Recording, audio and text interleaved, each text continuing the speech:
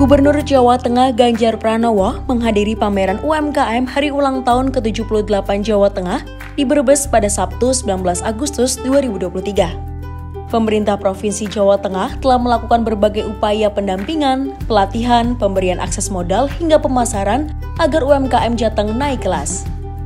Selain itu, salah satu program yang diinisiasi Gubernur bersama pemerintah Provinsi Jawa Tengah yaitu Lapak Ganjar juga turut membantu pelaku UMKM dalam memanfaatkan sosial media guna memperluas jangkauan pemasaran. Saya senang karena banyak UMKM tadi yang bercerita sudah bisa naik kelas gitu ya.